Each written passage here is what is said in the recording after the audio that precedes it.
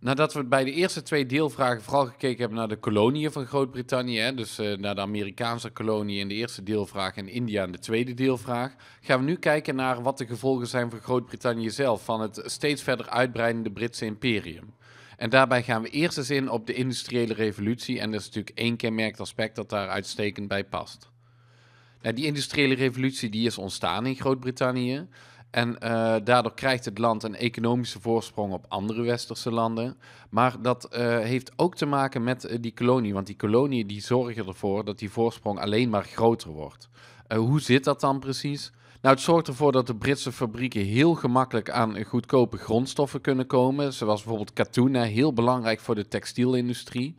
Uh, het zorgt er ook voor dat uh, de producten die in die fabrieken gemaakt worden, dat die ook weer uh, in de koloniën verkocht kunnen worden, onder andere. Dus niet alleen in het eigen land of in andere Europese landen, maar die koloniën waren ook belangrijke afzetgebieden voor die Britse industrie. En aan hoe meer mensen je iets kunt verkopen, hoe groter je je industrie kunt maken natuurlijk. Ja, en in die koloniën werd sowieso heel veel winst gemaakt met de handel in allerlei producten. En uh, een groot gedeelte van die winst werd door ondernemers ook weer geïnvesteerd uh, in de eigen industrie. En uh, bijvoorbeeld ook in de infrastructuur. Er werden spoorlijnen van aangelegd en kanalen van gegraven en dergelijke. Nou, en dat zorgde er allemaal voor dat die industriële revolutie, die in Groot-Brittannië al op gang was gekomen, dat die nog eens een extra impuls kreeg. En daardoor werd de voorsprong van Groot-Brittannië op andere landen dus alleen maar groter. Maar we zien niet alleen een sterke economische groei, we zien ook dat de Britse bevolking heel sterk groeit. En ook daar zijn verschillende redenen voor. En de eerste heeft te maken met verbeteringen in landbouw, want die zorgen voor een groei van de uh, voedselproductie. En uh, het is een hele simpele stelregel in een groot gedeelte van de geschiedenis. Hoe meer eten er is, hoe meer mensen er ook komen. Want mensen die, die, die leven uh, gezonder, die leven langer, want die, die, die, die, die hebben beter, uh, betere voeding en zijn dus minder vatbaar voor ziektes, zullen minder snel sterven. En mensen zijn ook vaak geneigd om sneller aan kinderen te beginnen, om, om, om meer kinderen te nemen, uh, omdat ze weten dat ze die, mensen, die kinderen ook kunnen voeden. Nou ja, waar zitten die verbeteringen in landbouw dan precies in?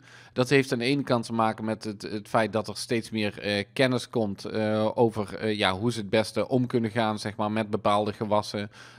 de opbloei van de wetenschap, en dat is eigenlijk al een gevolg van die wetenschappelijke revolutie die we al veel eerder hebben gezien, dat blijft gewoon maar doorzetten. En daardoor uh, nemen de opbrengsten toe. Uh, er wordt ook steeds meer landbouwgrond in gebruik genomen. Er wordt uh, grond die eerst niet geschikt was voor landbouw, wordt voor landbouw geschikt gemaakt. Dus dat betekent dat je ook meer kunt verbouwen. Het levert ook meer productie op. En er komen nieuwe gewassen bij door de kolonisatie van Amerika. En de aardappel is daar een heel belangrijk voorbeeld van. Dat is een gewas dat eigenlijk in Europa niet bekend was, dat in Amerika heel veel verbouwd werd. En dat uh, groeit echt uit tot het volksvoedsel uh, nummer 1 eigenlijk. Uh, de Europeanen gaan het op grote schaal verbouwen en daar kunnen heel veel mensen van leven. Heel voedzaam, heel goedkoop om te maken. Dus hoe meer voedsel, hoe meer mensen. Ja, we zien ook dat er minder mensen sterven omdat ziektes beter bestreden kunnen worden. We hebben het gehad over die opbloei van die wetenschap, die zorgt voor toename van kennis. Nou, dat is ook op medisch gebied. Uh, zo worden bijvoorbeeld allerlei vaccinaties uitgevonden tegen verschillende ziektes. En uh, dat zorgt ervoor dat het sterftecijfer omlaag gaat.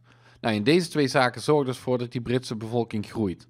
En dat is niet toevallig op het moment dat ook die industrie heel erg gaat groeien, want dat gaat eigenlijk hand in hand. De belangrijkste gevolgen van die bevolkingsgroei zijn bijvoorbeeld dat ja, er meer uh, vraag komt naar goederen, bijvoorbeeld textiel, kleding. Want ja, mensen moeten altijd kleding hebben natuurlijk. Dus hoe meer mensen, hoe meer kleding er gemaakt moet worden. Dus het is een enorme impuls voor die Britse textielindustrie. En die bevolkingsgroei zorgt er ook voor dat er uh, meer goedkope arbeidskrachten nodig. Een groot gedeelte van de Britse bevolking was voor de industriële revolutie uh, op het platteland aan het werk, in de landbouw als boer. Maar ja, daar vinden, allerlei uh, ontwikkelingen plaats en nieuwe uitvindingen worden gedaan, waardoor er sowieso minder boeren nodig zijn. En er komen ook meer mensen. Nou ja, dat zorgt ervoor dat er steeds meer fabrieksarbeiders komen. En die kunnen dus in die fabriek aan de slag. En die arbeiders, en dan met name die textielarbeiders, die konden ook nog eens in één keer uh, veel sneller en efficiënter hun werk doen, uh, doordat er allerlei nieuwe uitvindingen werden gedaan. Zoals bijvoorbeeld uh, de spinning jenny. En eerst zat een arbeider achter zijn spinnenwiel en kon hij maar een hele kleine hoeveelheid katoen spinnen. Maar door deze machine, wat eigenlijk een soort spinnenwiel XL is, zou je kunnen zeggen, kan één persoon in één keer veel meer katoen tegelijkertijd spinnen.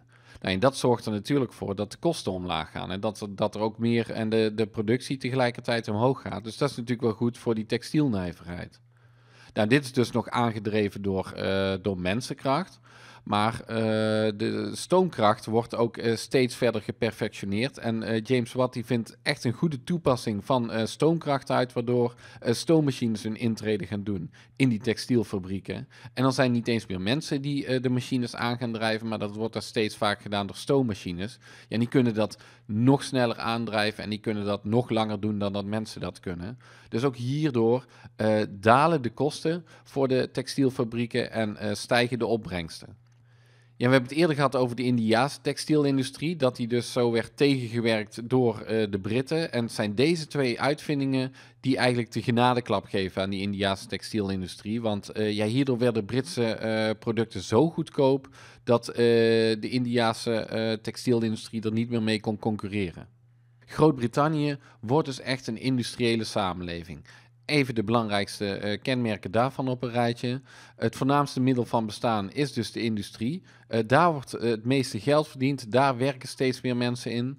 we zien dan ook dat de bevolking heel snel is toegenomen hè? En, en dat die dus ook steeds vaker in industriesteden rondom die fabrieken gaan wonen. We zien dat er steeds meer en uitgebreidere vervoersmogelijkheden komen, waardoor producten en mensen sneller vervoerd kunnen worden, zoals bijvoorbeeld per spoor of per kanaal. En we zien als laatste ook dat in zo'n industriële samenleving uh, de verschillen tussen arm en rijk steeds groter worden. En daar zullen we later ook nog op terug gaan komen.